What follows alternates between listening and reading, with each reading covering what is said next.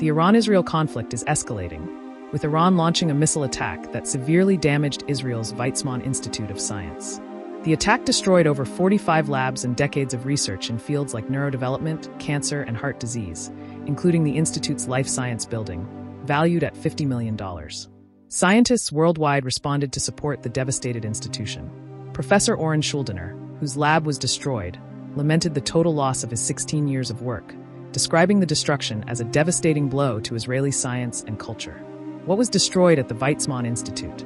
Two major buildings and over 45 labs were destroyed, including facilities for heart disease and neurodevelopment. The attack also resulted in the loss of years of important research and samples. Why did Iran target Weizmann Institute? Analysts believe Iran aimed to retaliate against Israeli actions targeting Iranian scientists.